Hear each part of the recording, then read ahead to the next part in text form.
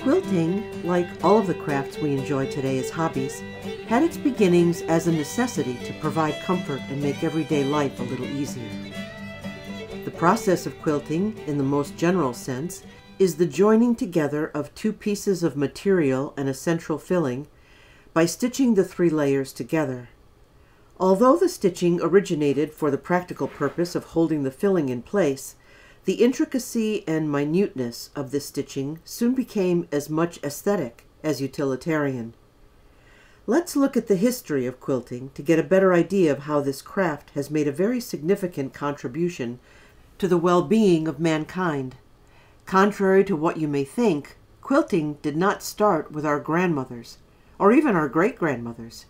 In fact, archaeologists have found examples of quilting done as long ago as 5000 BC, and it's possible that people were quilting before then.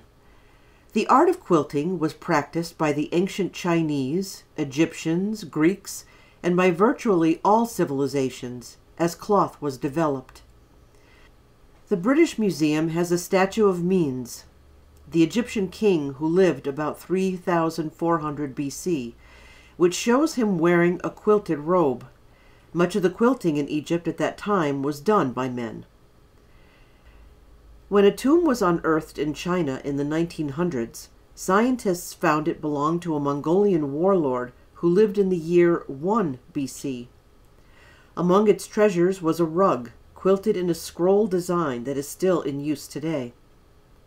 Ancient quilted fabric was often plain, so that any design was formed by the quilting stitches. However, applique and pieced-work also have a long history, dating to before the time of Christ. For example, the heads of Egyptian mummies were wrapped in fabric, arranged to form a design, a design we know today as log cabin. When European soldiers traveled to the Holy Land during the Crusades, which went on from about 1000 to 1300 AD, they found that the Arabs wore quilted clothing beneath their armor. The quilted shirts gave the Arabs added protection and comfort in battle.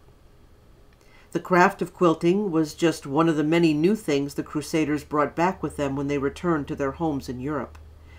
Often these Arabic designs were mosaics and probably were the inspiration for the pattern we know today as grandmother's flower garden.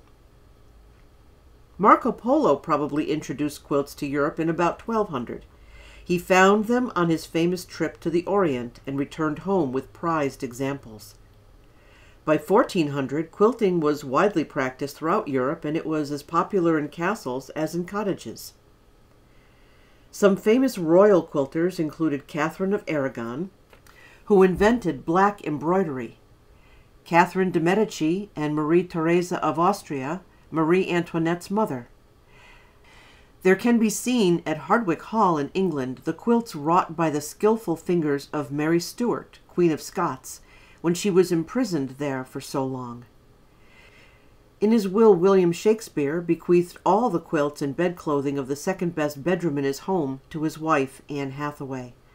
Many historians believe his wife was an accomplished quilter and probably made the quilts herself.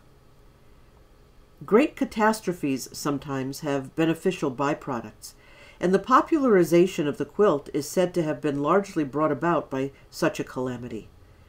In Europe in the 14th century, severely cold weather, which came to be known as the Great Freeze, lasted a number of winters and caused the major rivers such as the Thames, the Rhine, and the Rhone to freeze solidly. Partly out of necessity and partly to relieve themselves from the boredom resulting from prolonged confinement, women busied themselves making quilted material for garments and bed coverings. By the 1500s, quilted clothing had become fashionable in Europe. Men wore quilted vests and jackets. Women wore fancy quilted petticoats. Long bell skirts shaped by bulky petticoats became popular. This skirt split from waist to hem, displaying the lavishly quilted, colorful petticoats. This Renaissance split skirt fashion persisted until about 1630, when women were still exhibiting their magnificent undergowns by holding up their long skirts when walking. After 1670, skirts became fuller and reached to the ground once more, generally splitting at the front again to reveal a richly worked petticoat, which, according to Samuel Pepys, was often the most ornate and expensive items of dress. Elaborate methods were used to hold back the overskirt to make the most of the precious petticoats. A particularly ornate method was to bunch up the overskirt like a bustle and fasten it in place with a ribbon attached to the shoulders of the bodice. These quilted garments became so valuable that even a wealthy woman would be honored to receive a worn underskirt as a gift. While the design of the overskirts changed and eventually the split disappeared, Quilted petticoats remained popular well into the 19th century. Imagine living in a cold, damp stone castle during the Renaissance. Warm quilted clothing must have been very appealing. I know that on a trip to England and Scotland during March and April a few years ago, I wondered how people managed to stay warm enough, even in the small cottages I went through. Bed coverings were also quilted for warmth. Cottages, as well as castles, were drafty places to live. Quilts were used as blankets. In addition, beds were draped with quilted curtains to keep out the cold. Women made their own quilted clothes, wall hangings, and bed coverings. Common people and nobles alike made quilts. In time, they would bring the craft of quilting to the New World. By the time America was colonized in 1620, European women were thoroughly skilled in the art of quilting. Girls learned to sew when they were three or four years old, and a girl often made her first quilt at the age of five. When a young woman was ready for marriage, it was customary for her to have completed 12 quilts, as well as one extra quilt top of intricate design. This one was designated as her marriage quilt, and was covered with a profusion of appliqued roses, bells, and hearts. When the Pilgrims boarded the Mayflower in 1620, it is likely that they brought their quilts. They needed those quilts. The winter weather of New England would turn out to be very severe. In fact, without any guidebooks to tell them what to expect, only half of the pilgrims survived the first winter in the New World. Colonial homes were unbelievably cold and drafty in winter. Even as late as 1717, one man wrote in his diary, my ink freezes so that I can hardly write by a good fire. People slept under layers of quilts trying to stay warm. Women quickly adapted quilting to their way of life in the colonies to provide enough warm bedding for their families. They began wearing sewing bags at their waists. In the bags were fabrics for quilt patches, needles, scissors, and thread. When a woman had a few minutes to spare, she reached into the bag, selected several pieces of fabric, and seamed them together. In time, she had completed a quilt top. Quilting materials became a status symbol. A sewing bag was often decorated with elaborate designs, and the owner liked to be caught wearing it so that it could be admired. A homemaker might plan her day so that she patched worn everyday quilts in the morning, probably the origin of patchwork quilts. In the afternoons, when visitors called, she would work on her best quilts, which displayed her finest workmanship. When evening came, she sat and cut scraps from her scrap basket into squares, triangles, and other shapes to be arranged into patterns, to be sewn into quilts. No scrap of cloth was wasted, no matter how small. Colonial Americans often wore an article of clothing for many years before it wore out. They patched holes in a jacket or dress until it could hold no more patches. Then it was recycled. It was cut up and put in the scrap basket. Each scrap had its own story.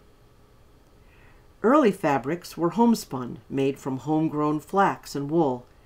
These early quilts were stuffed with almost anything on hand, including native grasses, corn husks, straw, hay, milkweed floss, and even letters from home. The British wanted the American colonies to purchase cloth and other goods from England, so they restricted cloth making in America. The American Revolution brought an end to British rule, and trade restrictions. By the early 1800s, fabric had become more plentiful, and quilt making grew to be an even more popular pastime. Gradually, the hit or miss patching designs of the early colonial days were replaced with intricate applique and piecework. Patterns were given names such as pine tree, delectable mountains, log cabin, postage stamp, and Rose of Sharon. Historical events were commemorated with patterns like 5440 fight, Whig Rose, and Clay's Choice. Farm equipment and household utensils were translated into such patterns as mill wheel, churn dash, and monkey wrench. Quilt patterns were enthusiastically exchanged and became known by different names in different communities. The bear's paw design in Kentucky was called duck's foot in the mud where bears were not a threat to life and limb. In Philadelphia Quaker communities, this very same pattern became hand of friendship. To add to the confusion, a certain design in one community might have a completely different name in another part of the country. And, of course, the Bible had a strong influence on early American quilters who designed patterns named for biblical events and people, such as Star of Bethlehem and Crown of Thorns, also known as New York Beauty, Tennessee Beauty, and Rocky Mountain Road. Remember what I said about quilts having different names in different parts of the country? Although piecing and applique can be done by one person, quilting the finished product was often done by a group. As a result, our ancestors developed the famous community quilting bees. Women were not encouraged to congregate in groups, but colonial town fathers generously sanctioned a day for community quilting. On that day, women took their finished quilt tops, along with baskets of food, to the largest home or building in town. The best quilters were invited to work at the frames, while poor quilters and latecomers were relegated to the kitchen to prepare the food. Late in the day, husbands and children joined the group and a feast was shared by the whole community. Usually seven or eight quilts were finished at the bee.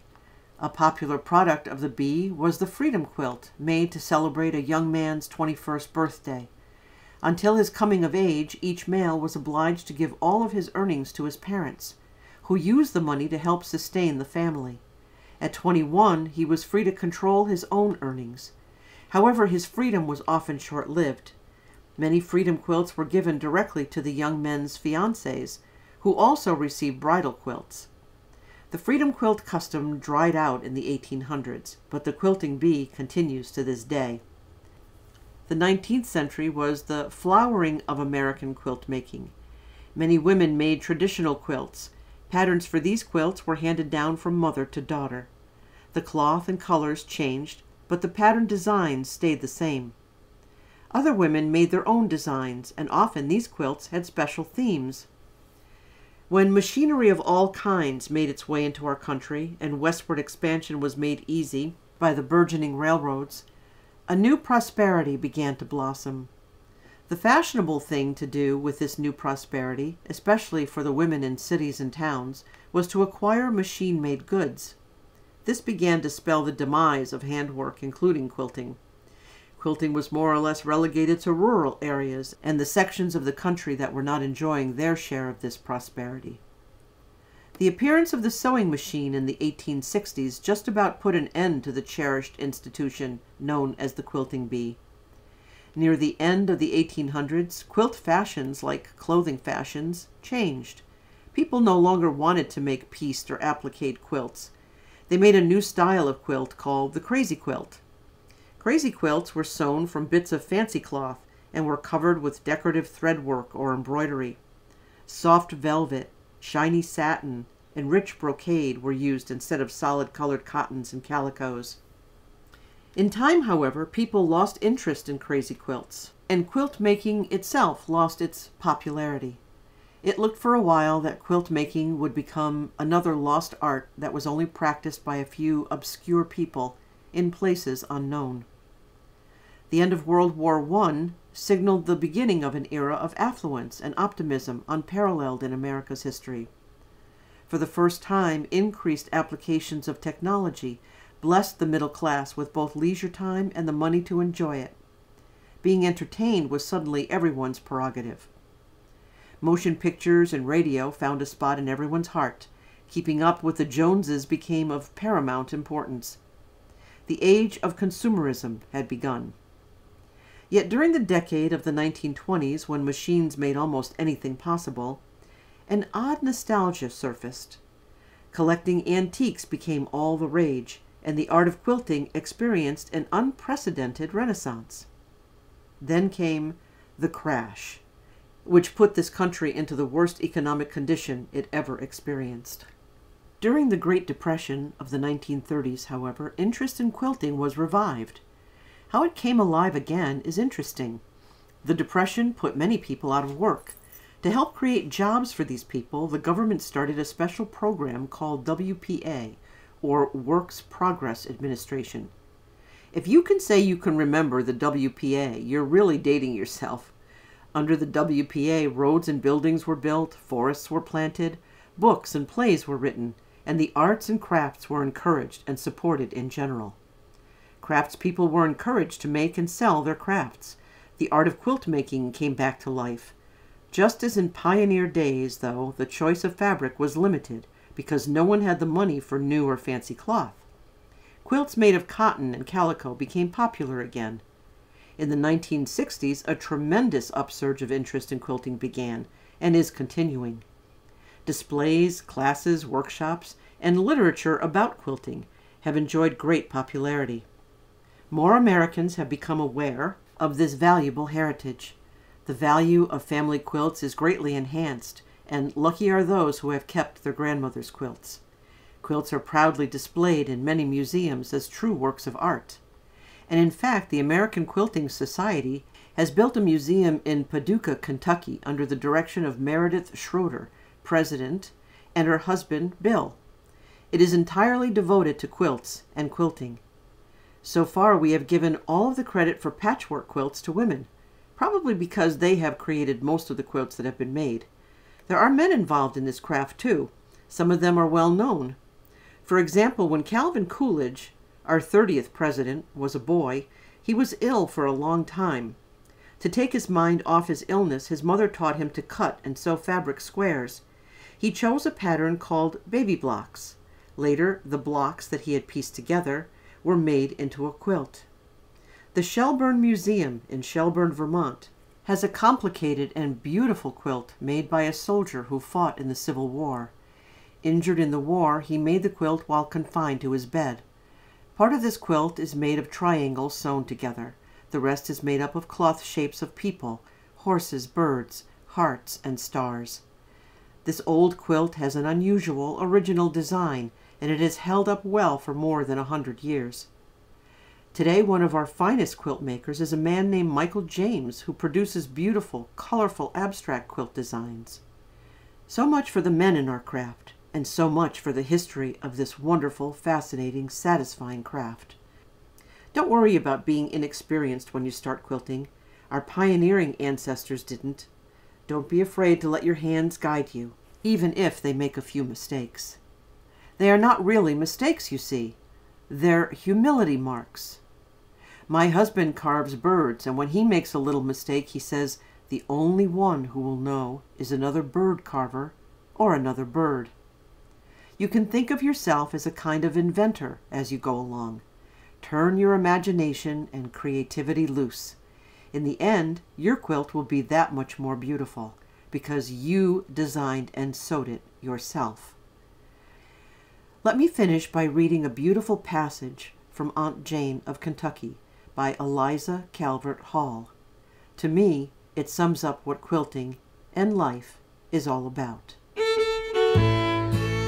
How much piecing a quilt is like living a life. Many a time I've sat and listened to Parson Page preaching about predestination and free will. And I've said to myself, if I could just get up there in the pulpit with one of my quilts, I could make life a heap plainer than Parson's making it with his big words. You see, to make a quilt, you start out with just so much calico. You don't go to the store and pick it out and buy it, but the neighbors give you a piece here and there, and you'll find you have a piece left over every time you've cut out a dress, and you just take whatever happens to come. That's predestination. But when it comes to cutting out the quilt, why, you're free to choose your own pattern. You give the same kind of pieces to two persons, and one will make a nine patch, and the other one will make a wild goose chase. And So there'll be two quilts made of the same pieces, just as different as can be. That's the way of living. The Lord sends us the pieces, we can cut them out and put them together pretty much to suit ourselves. There's a heap more in the cutting out and the sewing than there is in the calico. Thanks.